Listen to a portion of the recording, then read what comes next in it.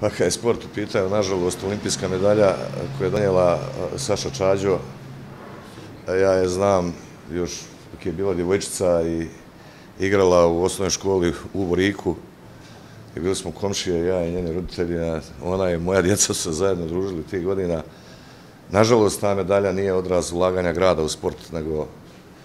činjenice da je Saša Čađo i brojni drugi sportisti iz Banja Luke svoju afirmaciju i karijeru su stvarali u drugim sredinama, jer ovdje nije bilo uslova za afirmaciju vrhunskog sporta. Saša Čađo i ostali Banja Lučani koji su učestvovali na olimpijadi su samo praktično pokazali da, nažalost, danas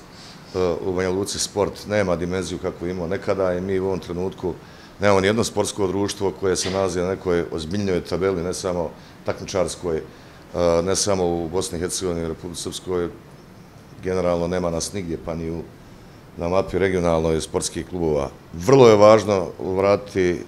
sjaja banjalučkog sporta, da se podsjetimo ovaj grad koji je imao obilje evropskih, svjetskih, olimpijskih medalja i sve od društava i klubova koji su u Banja Luci stvorili preko podmatka do vrhunskih svjetskih sportskih zvijezda. Bio sam neki dan u boksarskom klubu Slavija, razgovarao sam sa predstavnicima košarkaškog kluba Vorac, mladog krajišnika, razgovarao sam s ljudima iz futbalskog kluba Vorac,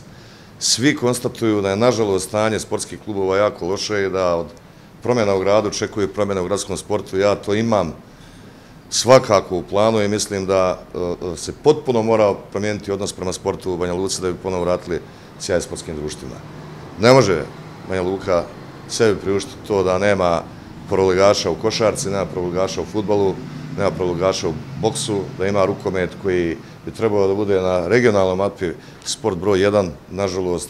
ne može se izboliti takvu poziciju ni u Bosni i Hercegovini. Generalno,